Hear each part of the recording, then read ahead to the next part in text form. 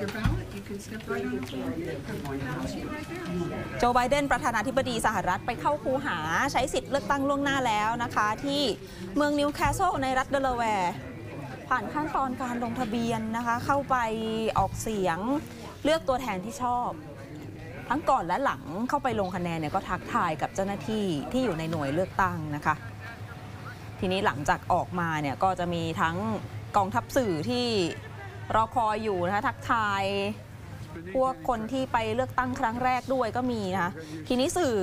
รุมถามคำถามไบเดนเกี่ยวกับเหตุการณ์บนเวทีหาเสียงของโดนัลด์ทรัมป์อดีตประธานาธิบดี ตัวแทนพรรครีพับลิกันที่ไปจัดที่ Madison Square Garden ในมหานครนิวยอร์กช่วงวันอาทิตย์ ตามเวลาท้องถิ่นที่สหรัฐมีผู้ร่วมปราศรัยกล่าวข้อความเหยียดเชื้อชาติ ซึ่งไบเดนก็พูดถึงเรื่องนี้บอกว่าเป็นเรื่องที่น่าอับอายอย่างยิ่ง และต่อไปนี้คือเสียงข้อความต้นเรื่องนะคะ you know, there's a lot going on. Like, I don't know if you guys know this, but there's literally a floating island of garbage in the middle of the ocean right now. Yeah. I think it's called Puerto Rico. Floating Island of Garbage คือเกาะขยะลอยน้ำแล้วเขาบอกว่านั่นแหละ เรียกว่าเปอร์โตริโกก็เลยกลายเป็นประเด็นร้อนนะคะ คนนี้คือโทนี่ฮินช์คลิฟ เป็นนักแสดงตลก ก็ไปขึ้นเวทีปราศรัยของทรัมป์ไปเปิดเวทีก่อนทรัมป์จะขึ้นนั่นแหละ แล้วก็ไปกล่าวข้อความเมื่อสักครู่นี้ พาดพิงถึงเปอร์โตริโกเรียกว่าเป็นเกาะขยะลอยน้ำซึ่งถ้อยคำนี้ก็ทำให้ทางเดโมแครตแล้วก็คนที่เป็นเชื้อสายเปอร์โตริโก หรือว่าคน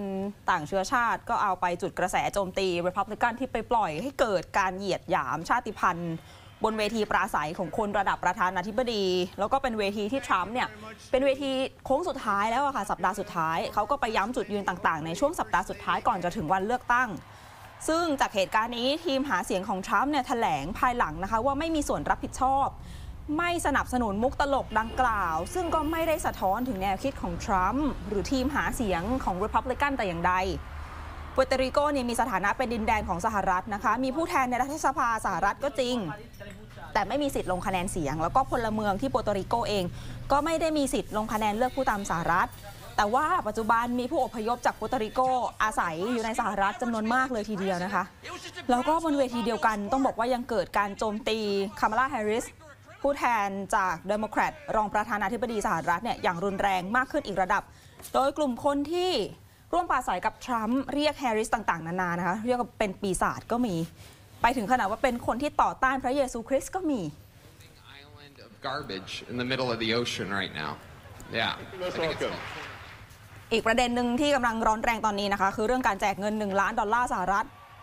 ของมหาเศรษฐีอันดับหนึ่งของโลก อย่างอีลอน มัสก์ ตกเป็นประเด็นก่อนหน้านี้ว่าขัดต่อกฎหมายเลือกตั้งของสหรัฐหรือไม่ และล่าสุดอัยการเขตที่ฟิลาเดลเฟียไปเดินหน้ายื่นฟ้อง America PAC แล้วนะคะ ซึ่งเป็นกลุ่มหาเสียงหนุนทรัมป์ที่มัสก์ตั้งขึ้นมา ยื่นฟ้องร้องให้ศาลสั่งให้อเมริกาแพกเนี่ยระงับเรื่องของการแจกเงิน 1 ล้านดอลลาร์นี้ ก่อนหน้านี้กระทรวงยุติธรรมสหรัฐออกมาเตือนแล้วนะคะ เรื่องของการแจกเงินก้อนนี้ว่าอาจจะสุ่มเสี่ยงละเมิดกฎหมายเลือกตั้ง แต่ว่าอเมริกาแพกไม่ได้สนใจอะไร เดินหน้าแจกเงินต่อไปเรื่อยๆ จนถึงตอนนี้เนี่ยรู้สึกว่าแจกไปแล้ว 9 ล้านดอลลาร์สหรัฐตามการรายงานของ The Philadelphia Inquirer ซึ่งเกือบครึ่งหนึ่งของคนที่ได้รางวัล วันละล้านดอลลาร์เนี่ยเป็นชาวเพนซิลเวเนียนะคะ ซึ่งเป็นรัฐสมรภูมิสำคัญที่จะชี้ชะตาศึกเลือกตั้งครั้งนี้